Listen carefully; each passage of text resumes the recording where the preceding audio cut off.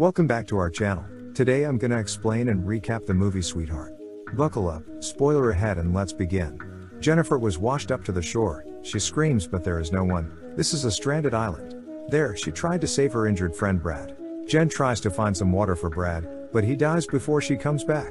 She wanders deeper into the jungle and discovers a cooler box, a backpack, a few coke, matches and some other belongings. There are a few things that she could use. That night Jennifer sleeps under a big leaf with pouring rain on her head. The next day, Jen discovered the head of a small shark just off the shore. It looked like it had been torn apart by something bigger. She sees Brad's body start to rot, so Jen digs a hole and buries him. Jen sees something floating in the middle of the sea. She swims to it and it was her package. Jennifer dives down to see if there is anything else, but she discovers a hole on the ocean floor. This pit looks deep and gives a chilling feeling. The next day, she's terrified to see that his body was dug up by some animal. It was even torn in half. She thinks it must be some wild animal. Jennifer makes a spear to defend herself. That night, she suddenly saw an airplane in the sky. Despite her attempts to fire flares and scream for help, she failed to get the plane's attention.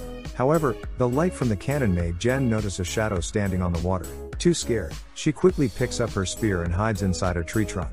She closes her eyes and waits for it to go. She was safe until morning came. The next day, she tries to leave by making a life buoy from her suitcase, but fails. That night she has no other choice but to sleep inside a tree trunk, when the monster comes and it seems to sense her presence. The monster screams and smashes the tree trunk. Jen stays inside and she's shaking. The next morning she saw her camp was destroyed. To observe the monster better, she catches a small shark and hangs it on a tree. She hides in a hole to watch, but she accidentally falls asleep.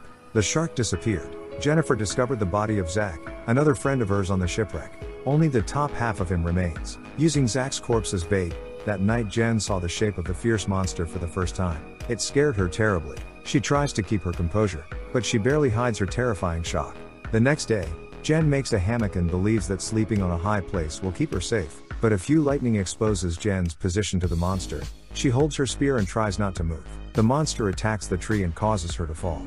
She tries her best to run but the monster catches up with her. She stabs it with a spear, the monster gets angry and slaps her away. Jen thinks she's gonna die but a lot of lightning saves her, turns out the monster is afraid of the light. She was safe but hurt her knee badly.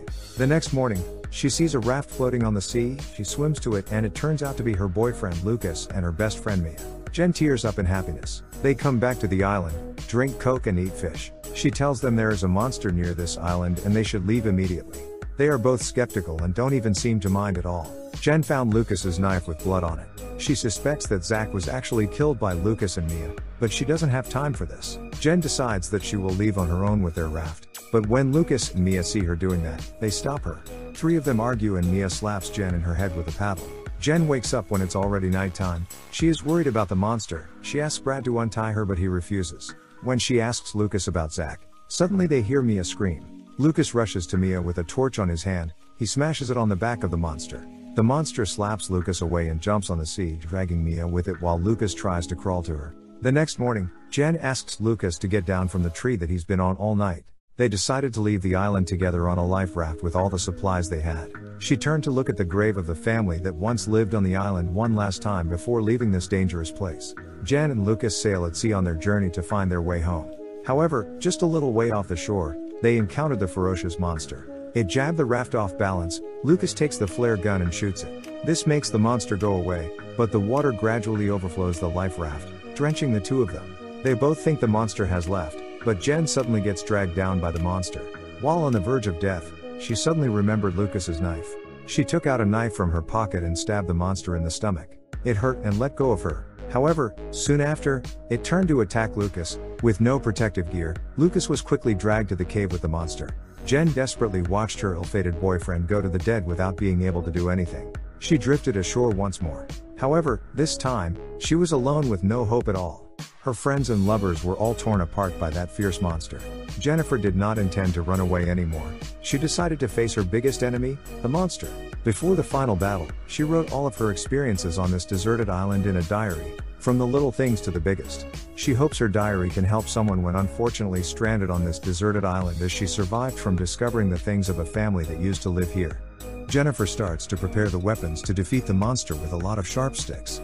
She uses a bone of her deceased friend Brad to make a strong spear.